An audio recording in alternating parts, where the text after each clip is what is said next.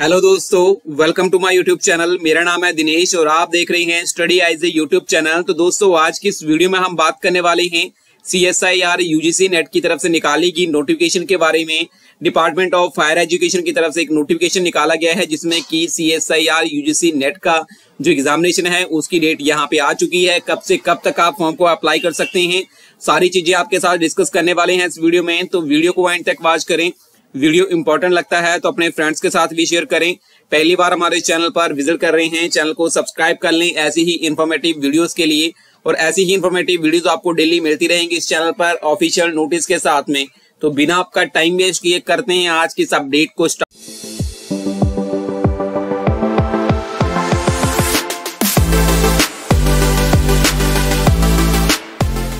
तो दोस्तों, बात करें यहाँ पे इनके ऑफिशियल नोटिस की तो यहाँ पर आप देख सकते हैं, ये C S I R UGC NET का निकाला गया ऑफिशियल नोटिस है।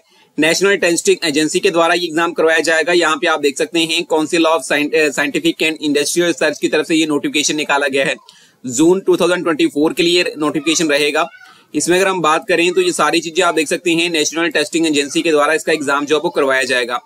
बाकी ये सारा आपको यहाँ पे जो इंडेक्स दिया गया है, मैं आपको यहाँ पे डिटेल में इसके लिए बताऊँगा कि यहाँ पे कब से कब तक आपका एग्ज़ाम रहेगा। तो यहाँ पर आप देख सकते हैं, इसके लिए ऑनलाइन रजिस्ट्रेशन जो रहेगी joint C S I R UGC NET 2024 के लिए, वो एक पाँच 2024 से लेकर इक्कीस पाँच 2024 तक रहने वाली है। तो आप एक मई से फॉर्म को अप्लाई कर सकते हैं। लास्ट डेट जो आपकी इसमें रहेगी सक्सेसफुल आपकी ट्रांजेक्शन की फ़ीस की, वो आपकी बाईस पाँच से लेकर तेईस पाँच के बीच बीच में आपकी हो जानी चाहिए तो वो आप यहाँ पे देख सकते हैं।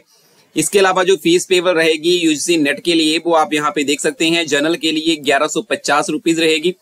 ओबीसी, एनसीएल, उसके अलावा यहाँ पे जनरल ईडब्ल्यूएस कैटेगरीज के लिए सिक्स हंड्रेड रुपीज़ रहेगी and S C S T PWD candidate third genders के लिए यहाँ पे जो वो three twenty five rupees fees जो वो रहेगी।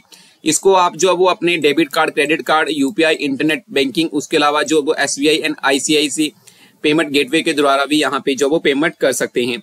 इसके अलावा बात करें यहाँ पे तो यहाँ पे ज्वाइंट जो C S I R UGC NET का टेस्ट रहेगा, वो आप यहाँ पे देख सकते हैं जो आपका सिटी इन्फॉर्मेशन स्लिप रहेगा, वो अनाउंस कर दिया जाएगा आपको वेबसाइट के ऊपर ही।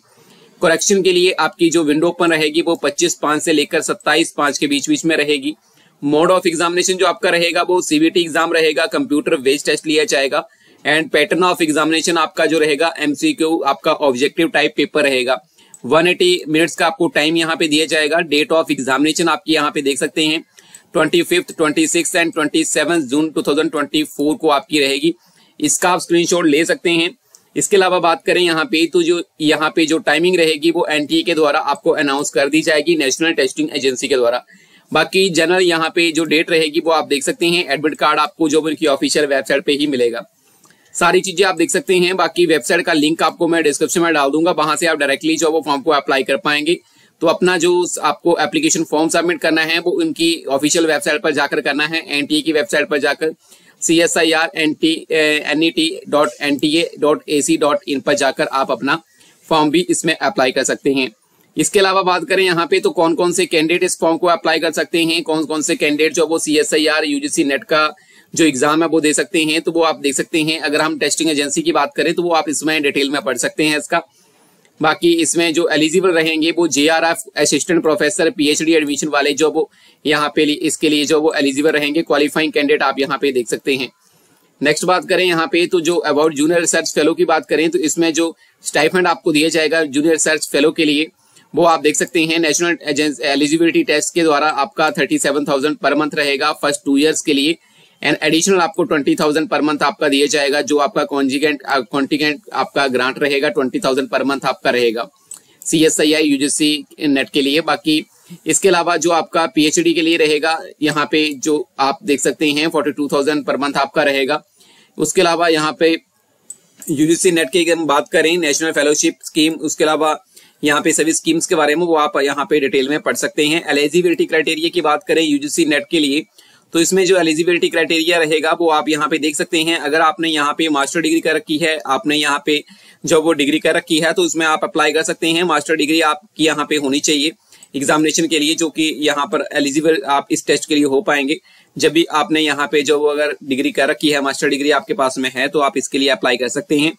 इसके अलावा आप यहाँ पे देख सकते हैं, अगर हम बात करें यहाँ पे जो भी कैटेगरी यहाँ पे बिलोंगिंग कैटेगरी थर्ड जेंडर वाले रहेंगे उसके लिए रिलैक्सेशन भी आपको इसमें दी जाएगी। पीएचडी डिग्री अगर आप होल्डर हैं मास्टर डिग्री आपने कर रखी है तो भी आप इसमें जो वो अप्लाई कर पाएँगे।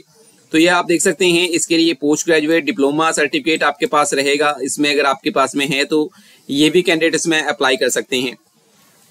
तो ये तो था यहाँ पे जो वो four years and eight year semester की जो आपकी यहाँ पे एट सेमेस्टर की जो डिग्री है।